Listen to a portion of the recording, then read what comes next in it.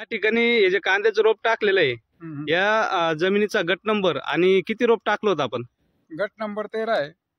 हर्सुल आणि बा बी बारा किलो टाकलं होतं मी. म्हणजे पाच एकर कांदा लागवडीच्या हिशोबाने नियोजन केलेलं होतं ते. आणि शेतकऱ्याचं नाव काय आहे? शेतकऱ्याचं नाव सुनील पूनमचंद वर्मा मी स्वतः. आणि बटाईने दिलेलं होतं मी ते. बटाईदार कुठला आहे? बटाईदार ता- टाकळीवाडीचा कारभारी अं, परदेशी. आणि हे जे रोप टाकलं मग आता याच्यात प्रॉब्लेम काय झालाय नेमकं?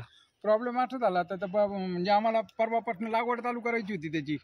आणि रात्रीला पाणी भरायला आले तर त्यांना ते अल्ट्राजिन आणि युरिया दिसला. त्यामुळे त्यांना शंका आली. मग त्यांनी पाणी देणं बंद केलं.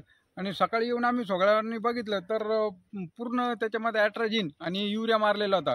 म्हणजे जेणेकरून ते रोप जळून जायला पाहिजे अशा हेतूने.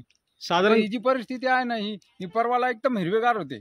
आणि ते एका दिवसातच पिवळं आता ते आज एक दोन दिवसामध्ये तर पूर्ण जळूनच जाणार ते.